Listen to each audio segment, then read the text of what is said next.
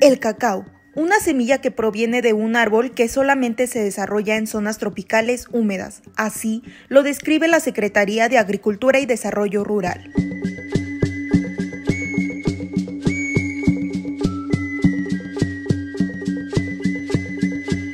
En la época prehispánica era utilizado como moneda. Hoy en día es una bebida. Ya que lo compramos en crudo, se tuesta a cierto nivel, cierto tiempo y ya después de ahí se limpia porque el cacao viene con cascarita.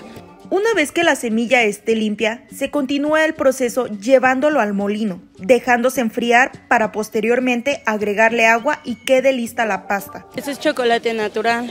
Este nada más lleva lo que es el cacao, agua, azúcar y hielos para que se mantenga frío. La consistencia espumosa que se logra observar es gracias a un molinillo de madera y a que las personas que lo venden no dejan de batirlo.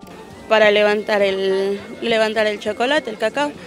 Este en algunos pueblitos lo ocupan también como para el atole, también lo mueven y le sacan poquita espuma, pero en realidad bueno se ocupa más para la bebida del cacao. A pesar que el cacao no es la única bebida con esta semilla como ingrediente principal, es el más conocido y favorito por los poblanos. Pozol, el tejate, el chilate y hay otros más. La venta se hace por medida, el chico que sería del número 12 a 35 y el medio litro en 40 pesos. Te ayuda para la digestión. Dicen que si tomas mucho cacao te, te pone más brillosita la piel. Y pues ahora sí que es algo natural, algo típico.